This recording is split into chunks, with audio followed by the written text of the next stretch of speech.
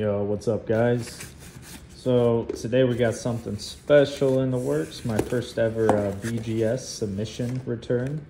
I have a bunch of PSAs, SGC, stuff like that. Ignore these dogs. But uh, I, for my PC, most of these are PC with the exception of uh, one card that I'm planning on reselling that I got a good deal on. Um, so I'll start from, I haven't really checked them out. I did see the grades online, however, I have not um, not looked at these yet. Let me pop them open. There was one disappointing card in the lot, unfortunately, but it's because I did not clean the surface. Always clean the surface of shiny cards, guys. So as you see, eight cards total. Most of these are Brady. Um, obviously, got a pretty decent sized Brady collection going on. So let's get into it. Should I put them up close? Put them on this box, huh? All right, so obviously first one here is gonna be a nine. Um, I was very disappointed with this one. Not sure why they gave it a nine. I didn't pay for subgrades just because I got a good deal on holiday shipping. It was like 15, 20 bucks a card or something like that. And they came back in 20 days. So nine, not bad. I mean, most of these cards I bought for about $3. I'll probably put a little thing up top about the price I paid versus how much it's worth now. But like I said, this is a PC card. Actually looks pretty good in a nine, I'm surprised. Like, still not sure what they dinged it on. I mean, I didn't really check the surface out, but the corners look perfect. The edging looks great. I guess that's the downside of not paying for uh, maybe that corner, huh? Yeah, yeah, that corner a little left there. Take it out of this. So first one, nine, not too bad. Obviously next one up, looks like it's gonna be a nine as well here. You can tell on Beckett, they ruin the color, or they ruin the surprise with the color.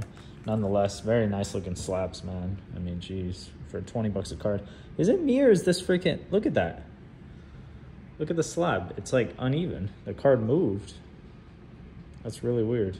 Actually, that's kind of annoying. I think this one, kind of the same issue. Wonder what's up with that. All right, so nonetheless, a nine here. This one, uh, I didn't realize it was a retail Crown Royale. I just kind of bought it for like eight bucks, but still PC. I'm not planning on reselling this. I got this card for eight or nine dollars, so it's a good deal.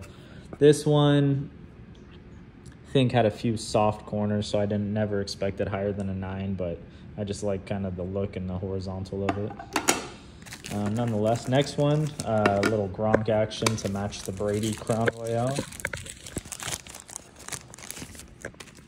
They aren't all Brady and Gronk cards, guys, by the way. So this card got an 8-5. Now,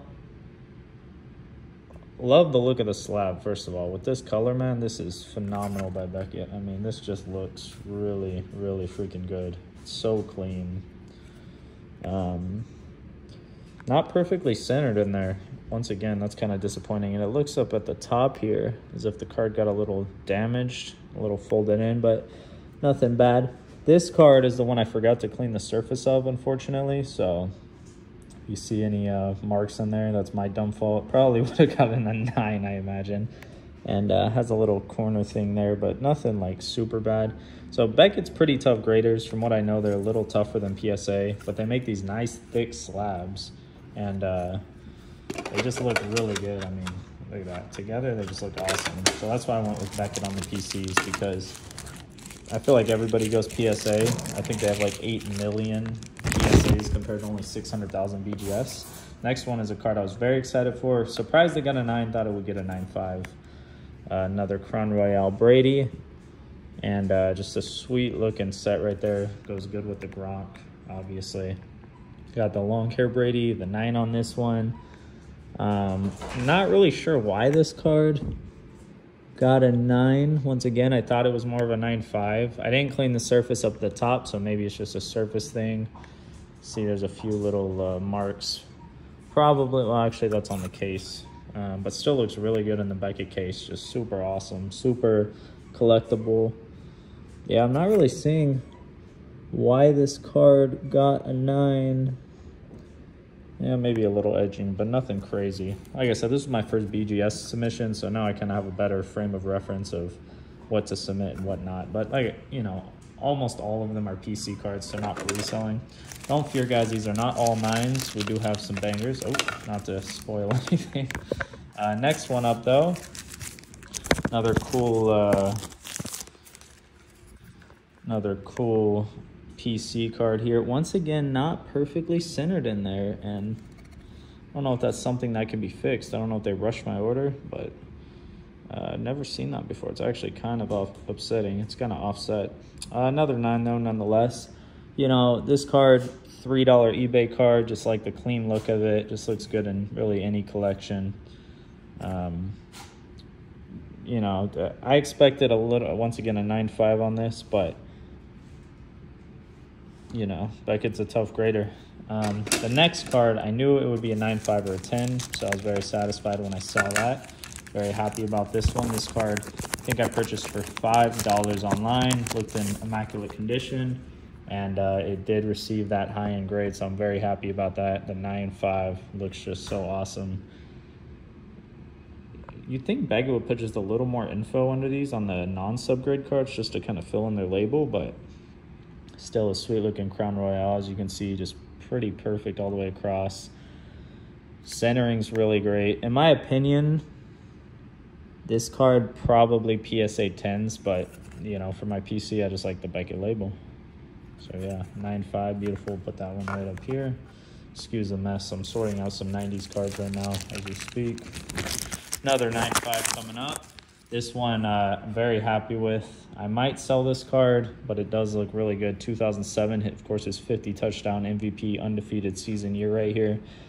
This card and a PSA 10 goes for about 80 bucks. I purchased it for $3, so I'm very happy with this uh, purchase. 20 bucks for grading, $3 purchase, so we're looking about $23 card.